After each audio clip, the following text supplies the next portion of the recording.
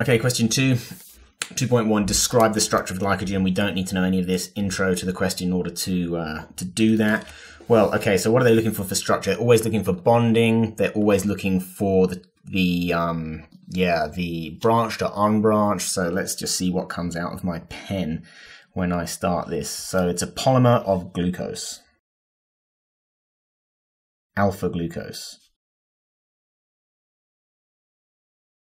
I'm going to write alpha just to make it totally clear.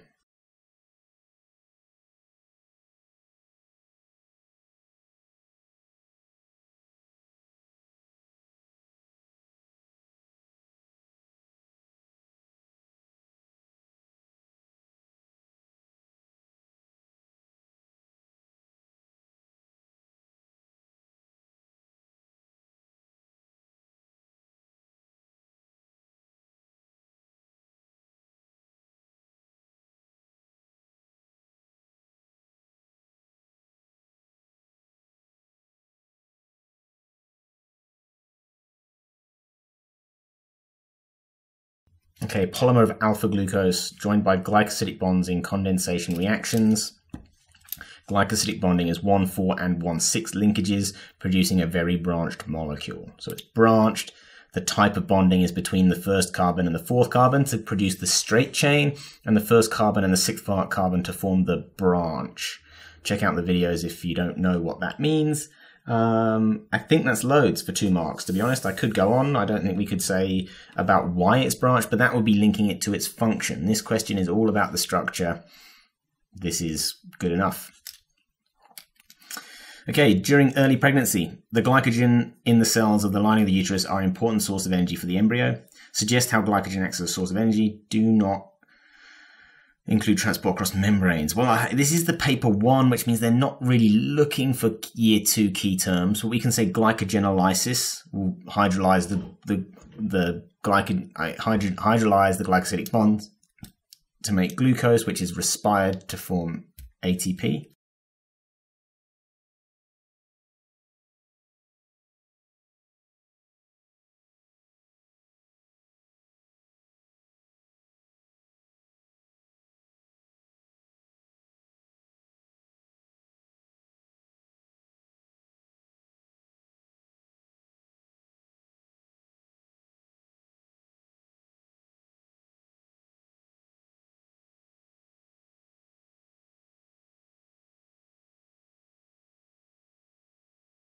Okay, so glycogenolysis hydrolyzes the glycosidic bonds to form glucose. We could maybe put, oh, I've got hydrolysis in the hydrolyzes. We don't have to say hydrolysis reaction. Glucose is respired to produce ATP. I think that's fine.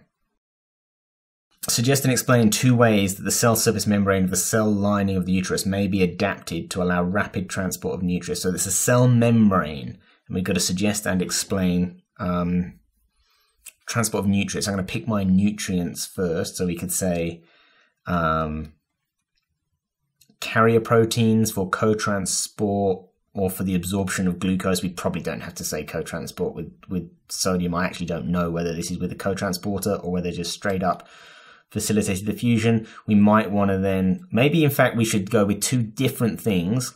One could be a protein channel for the absorption of ions um, and what would an ion be used for?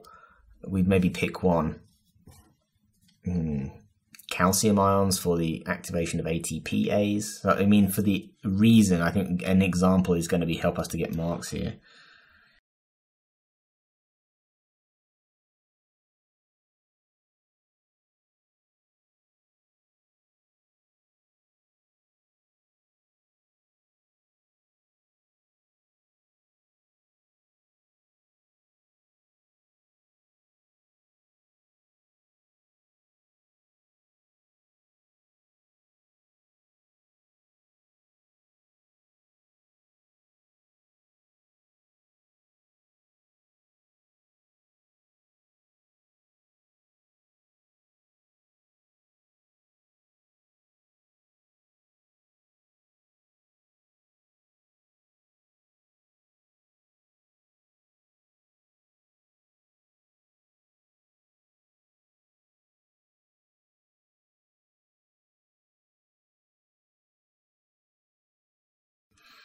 So I've said protein channel for the facilitated diffusion of calcium ions for use to activate ATPase.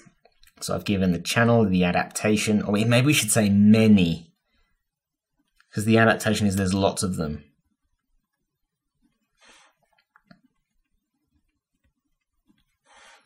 Carrier proteins for active transport of glucose against the concentration gradient, even though, or we could maybe say for the rapid transport of glucose using ATP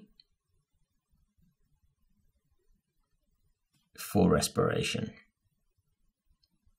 So what other things in the cell membrane? The phospholipid bilayer, but it's not really an adaptation. Everything has a phospholipid bilayer that has a cell membrane, so I didn't want to go there. I think that's probably okay. It'll be interesting to see the mark scheme here. I'm not dead set as to what those marks are going to be, but again, I've jammed it full of key terms. The adaptation part, I think, is the fact that there's lots of these things, more than you would normally find on any other given cell membrane. Okay, part four I'm going to do in pencil because again you don't have mega working space so I find it easier to do these in pencil in case I make a mistake and I need the space back again basically. Okay so um, day one is um, one division. Day two and three equals um, 24 divided by 8 equals 3. And they've got, obviously, that's the same for day two and three. So there's seven divisions. Um, each one doubles. So we go from one cell at time zero, day one, day two, uh, in fact, this is division one, two, all the way up to, I wonder if we'll have space up to seven. So you have one cell, two cells, four cells, and you have eight cells. So this should be two to the power seven, I think. 128. If you want to do that, you could actually just do that as um, one times two.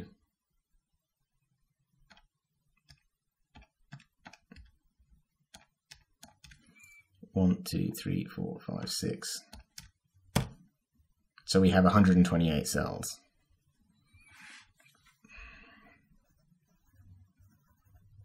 Which is 2, because there's each time it doubles,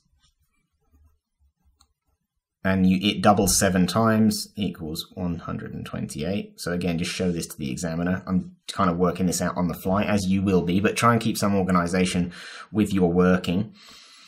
Um, this is the mean volume after three days. So we want to divide this by 128 basically. So it's um, 4.2 times 10 to the power of minus 3.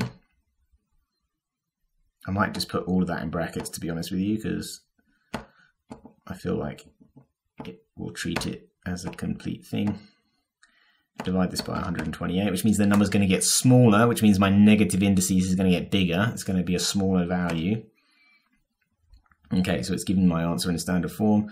So I'm then going to do 4.2 times 10 to the power of minus 3 divided by 128, which is going to give me 3.28125 times 10 to the minus 5 so my answer, I'm going to use the same number of decimal places as used in the question, 3.3 times 10 to the minus 5. I've given my answer in standard form. I don't have to include units, it's millimeters cubed. Um, that is how you do it.